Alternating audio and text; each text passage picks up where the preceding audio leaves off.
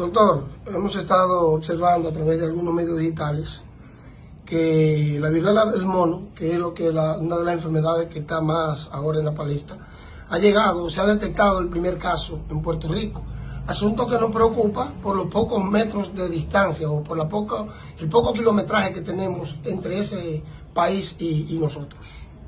Sí, eh, es una preocupación. Eh, es claro que, haya que tener eh, preocupación en ese sentido, pero hasta el momento en Puerto Rico solo se ha reportado un caso, lo cual no representa un brote en, la misma, en la misma isla. Por lo tanto, nosotros acá en Santo Domingo no tenemos reporte de casos de, este tipo, de, esta viruela del mono. Eh, se reportó también eh, una información que vino de Haití también que había un caso, pero todavía eh, no ha sido notificado de manera oficial en Haití. Aquí en la, en la provincia y, en el país no hay reportado ningún caso de, que tenga que ver con esta viruela del mono. Correcto. Doctor, con relación a los casos de COVID, vemos que aumenta, que decrece. ¿Dajabón cómo, cómo estamos? Eh, Dajabón está manejándose. Hay una positividad que, es muy variable, diaria. Eh, los reportes nacionales con respecto a la, positividad eh, varían entre un 16 a un 22 eh, por ciento. Nosotros acá en la provincia nos manejamos con, con un 20, un 25 eh, y menos de ahí, o sea, que los están variando. Hoy, el día de hoy, eh, hay menos personas buscando, buscando la prueba. Por lo tanto, lo que nos indica a nosotros que hay una disminución.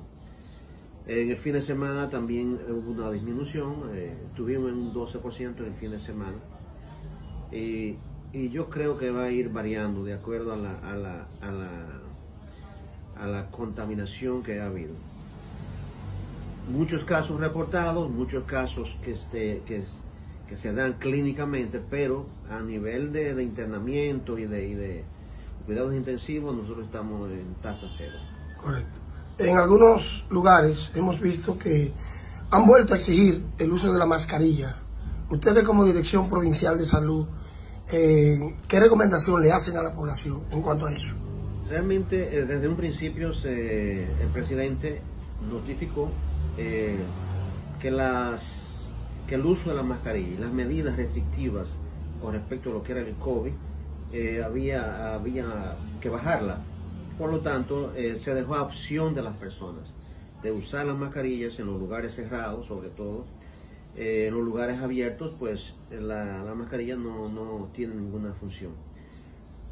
Se hizo esto porque la, los grupos la, donde mayor contaminación hay es en los grupos, en la, conglomeración de personas. Por lo tanto, eh, cuando se está en, grupo es necesario que usted se proteja. Que otro no se proteja, no, no importa. Usted sí tiene que protegerse. Y además está llamando la atención de que la gente eh, cumplan con el esquema de vacunación. Tenemos vacunas disponibles para las personas que la solicitan y diariamente tenemos equipos eh, desplegados por todo lo que es eh, la provincia, buscando que la gente se ponga la tercera dosis y, la tercera y la cuarta dosis que está siendo recomendada. gracias. Levántalo el micrófono. Gracias. Bueno, la alerta nuestra sigue igual. Estamos vigilando en los aeropuertos. Ah, tú sabes que no tenemos un vuelo directo con Sudáfrica y estos países donde es endémico. Pero también es buena la noticia que nosotros tenemos los insumos para el diagnóstico. O sea, el Laboratorio Nacional ya tiene todos los métodos diagnósticos para la viruela del mono. Anteriormente, acuérdense, tuvimos un caso, tú te recuerdas de un chino que vino aquí, que vino en un vuelo, tuvimos que observarlo 35 días, se tuvo que hacer los estudios en la CDC, después Brasil y salió negativo. En este caso, inmediatamente se tenga la sospecha de un caso de viruela del mono, le tomamos una muestra y se hace en el laboratorio nacional. ¿Y el tratamiento, doctor, se tiene? El tratamiento se, se tiene con la OPS, pero observa bien estamos forzando a buscar una enfermedad que es mucho menos importante que un infarto agudo de miocardio. Y ayer cuánta gente le dio infarto. Y como que estamos distrayéndonos con relación a la viruela de mono, cuando no, aquí no tenemos mono. Bueno, no. O sea, usted lo sabe, están recluidos, pero tiene que haber un contacto. Vamos a suponer que una persona lo tenga. Tiene que haber un contacto directo con esa persona continuamente para que se le contagie. Por eso que se habla que tiene el nivel de contagio como el VIH o como el caso de la hepatitis C. Tiene que haber un contacto directo con las lesiones para que tú puedas contagiarse. Doctor, eh, usted eh, estuvo en, creo que en Nagua sobre la ruta Sí. de la salud, eh, un 75% de la población obesa, también en La Vega, los niños. ¿Cuándo será el de Santiago? Santiago está en turno, pero hay otras provincias. Por ejemplo, nosotros vamos a, a Monte Plata.